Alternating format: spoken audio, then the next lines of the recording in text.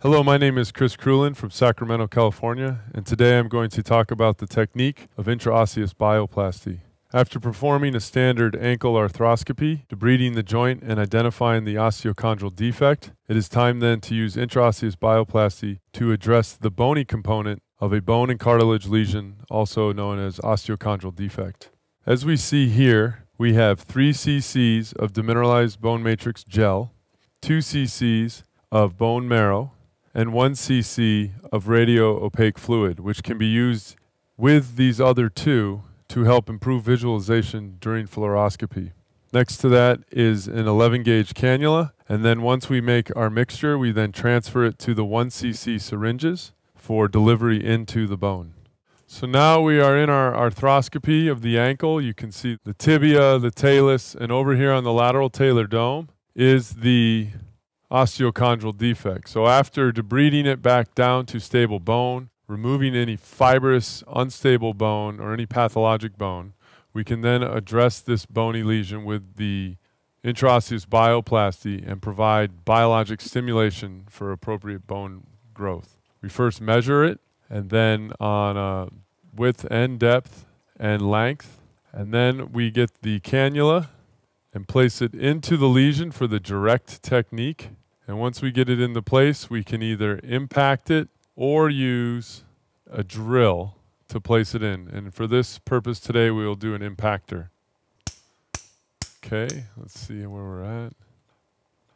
When placing this cannula, you need to make sure that the third or most superior hole is all the way down. Here you can see the tip of it sticking out. And if you're not all the way down with that third hole, the material will escape out the defect and not go into the surrounding bone and bone marrow lesion. So let's impact it a little bit more. Good. Now you can already see that we're getting some fatty globules coming out from placement of the cannula, showing that we're in the appropriate location.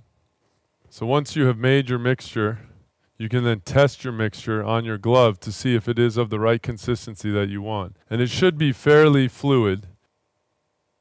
Next, we transfer the fluid into the 1cc cannulas, which provide for easier application of the material. Now that we confirmed our position with fluoroscopy, we then remove the inner trocar and we're left with the cannula. We then attach the syringe to the cannula to inject the biologic material. Now we place the camera in position with the water on and watch our injection. First, you'll see a flush of fatty material and air bubbles from the cannula. And then the material starts to get thicker and you can see a little pink flush and that is the DBM and bone marrow coming out and you can rotate the cannula and inject more. There you can see a little bit of return of the IOBP mixture. Once you have injected the material and you start to see this return, you can remove the arthroscope and take another fluoroscopic image to see where the material has gone in the bone. Once the IOBP is complete, you can then address the cartilage aspect of the joint by using biocartilage. First, dry the joint, put it into non-invasive distraction, and then place the biocartilage into the osteochondral defect. Once that is complete, the rehab protocol begins by first placing the patient in a splint with no motion for the first two weeks.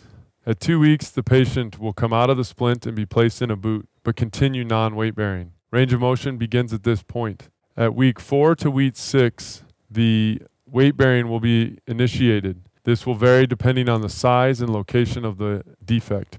The weight bearing will continue in the boot till weeks 10 to 12, again, depending on the lesion. And then weight bearing will be initiated out of the boot with impact activity being initiated around six months.